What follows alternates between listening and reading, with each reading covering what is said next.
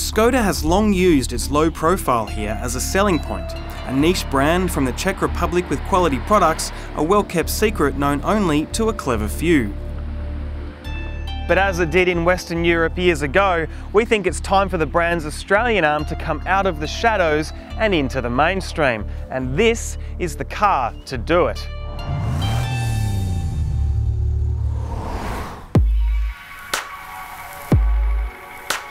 It's called the Skoda Kodiaq, a left-of-centre SUV rival to the slightly bigger Kia Sorento and Mazda CX-9.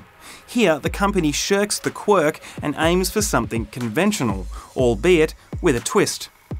Looks good, doesn't it? Conventional but classy and well proportioned, with nice wheels, LED headlights, and some crisp lines. Something to get the neighbours and other parents on the school run wondering,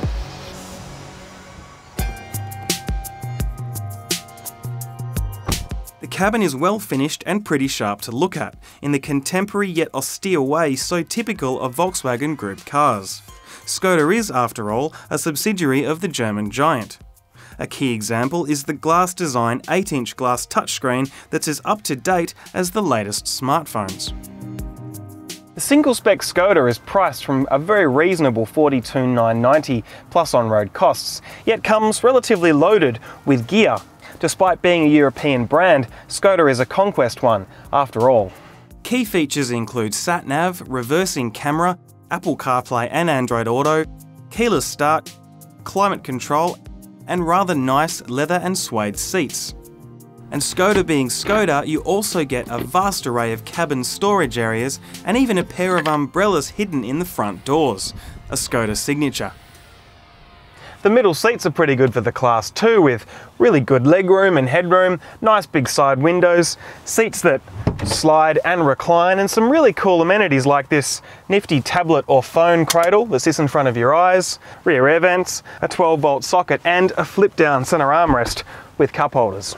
The third row is definitely tighter than some competitors, but it's worth remembering that the 4.7 metre long Skoda is a pretty small car by class standards. But let's face it, the primary purpose of the third row in any SUV is to transport kids about. If you're regularly ferrying six adults on anything but the shortest of journeys, then your passengers will probably appreciate you doing the job in a people mover, something like a Kia Carnival or Mercedes V-Class. An electric tailgate is standard fit, while it's dead easy to drop the third row of seats to liberate usable cargo space. You can also use a lever in the cargo area to fold the middle row to make the Kodiaq a carry wagon with 2,000 litres of storage. Oh, there's also a retractable cargo cover hidden under the floor here and even an LED torch tucked away in the side of the car.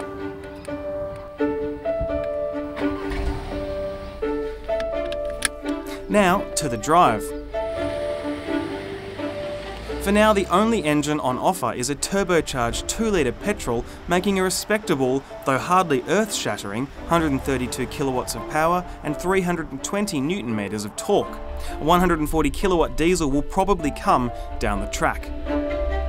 While it's a small engine by class standards, it's strong where it counts, has a pretty good mid-range and plenty of rolling response that makes it urgent and peppy around town or when overtaking.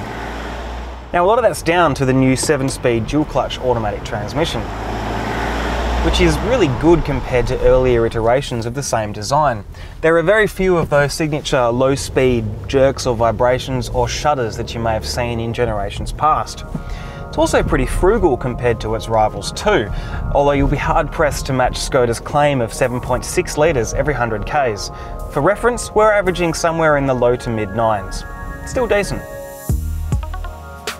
In the interest of keeping the range simple, the Kodiaq is only available with an on-demand 4x4 system that sends traction to the back wheels when sensors in the car detect slip at the front.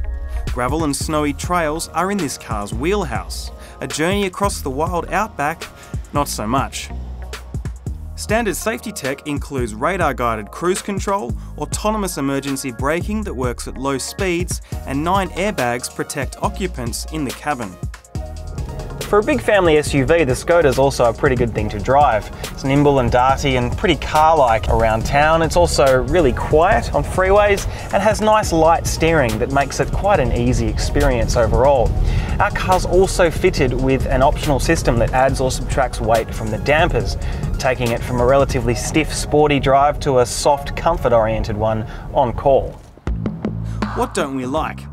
Well, the 19 inch wheels may look the part, but they don't help the ride comfort or noise suppression. Furthermore, it's easy to add up to $10,000 to your price by adding various options and option packs. Read the review on caradvice.com to see the specifics.